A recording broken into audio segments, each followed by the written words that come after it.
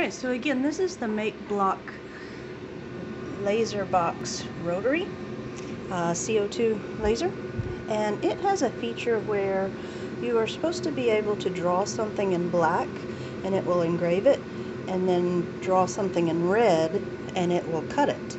And so I'm going to try the cutting part for the first time today. So I just used a uh, pa Papermate Flair. It's a felt tip marker and I've put this on the back of a cereal box and I will let you know if this works.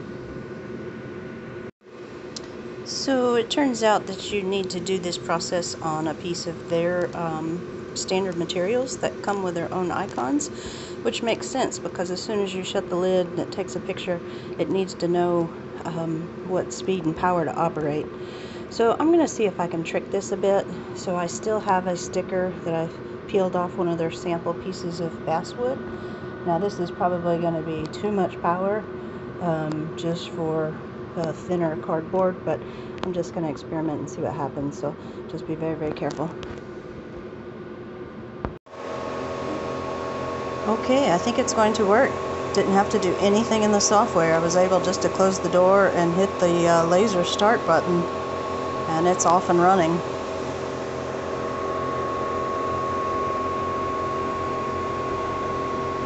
That's pretty cool. You'll notice it is slightly off of the red mark. But if you just want some uh, simple shapes, I think the shape dimensions will still be right on. They're just slightly off. Uh, so that's very cool.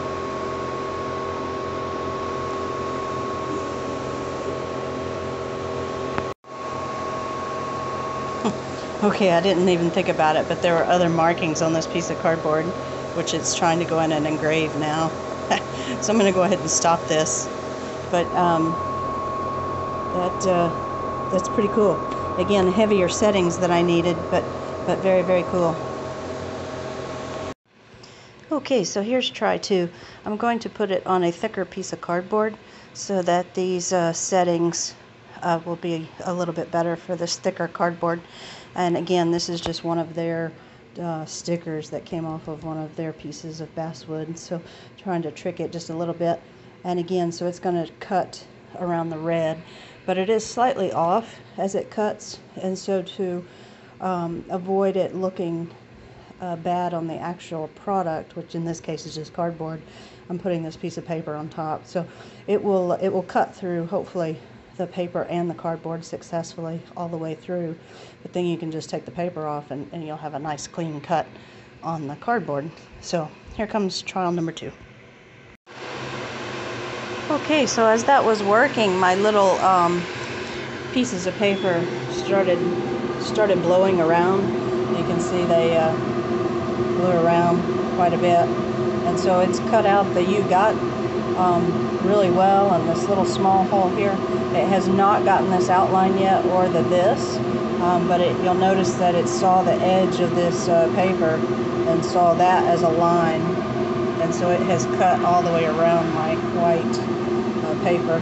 So what I'm going to do is try to move all these extra pieces so that it can see this um, and then try it one more time and see uh, see what happens. So I should have used masking tape instead of just white paper because as soon as it cuts these tiny little pieces out of the white paper, they went everywhere. So. Alright, so I've, I've moved out part of the cardboard that it's already cut, so I've moved that out of the way. I put some tape on the word this. Um, now it's probably going to recut everything it's already cut, but, but that's okay. I just want to uh, experiment here. Okay, unfortunately, I think I missed uh, getting that last little bit of video there, but I, I did try it again to where I had put a piece of tape over the word this. Um, again, masking tape would work better for this process to keep it down because these letters still did blow around. But you'll notice it did go around the word this. It has gone around my outside border, which is fantastic.